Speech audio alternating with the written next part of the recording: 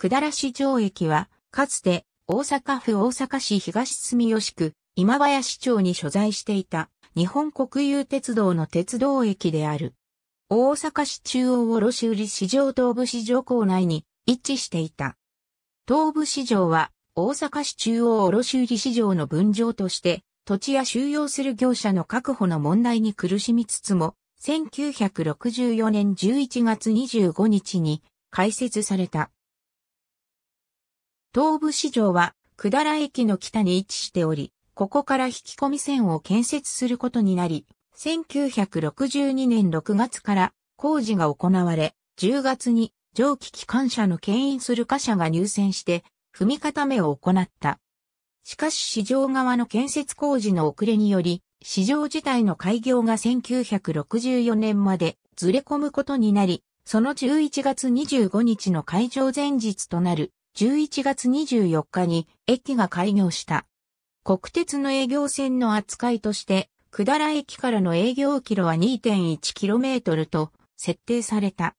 駅名については議論があったが、百済駅の分駅として百済市場駅と命名された。年間19万トン、1日平均貨車39両の取り扱い予定とされた。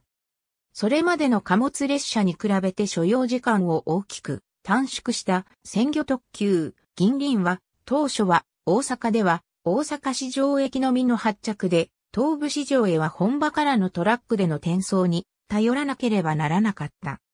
これは市場間の競争の点で不利であり、国鉄や関係省庁に陳情を繰り返した結果、追多走車場での入れ替え作業のめどがつき、1969年10月1日より、百済市場駅にも銀輪から分割された一部の貨車が運行されるようになった。しかし、輸送体系の変化により、1984年2月1日のダイヤ改正により、集結式輸送方式が廃止となり、百済市場駅も同日廃止となった。市場の南側に隣接して線路が敷かれていた。百済貨物駅の構内から引き込み線がカーブを描いて伸びて接続しており、発着線は3本、軌道総延長は2698メートルであった。ありがとうございます。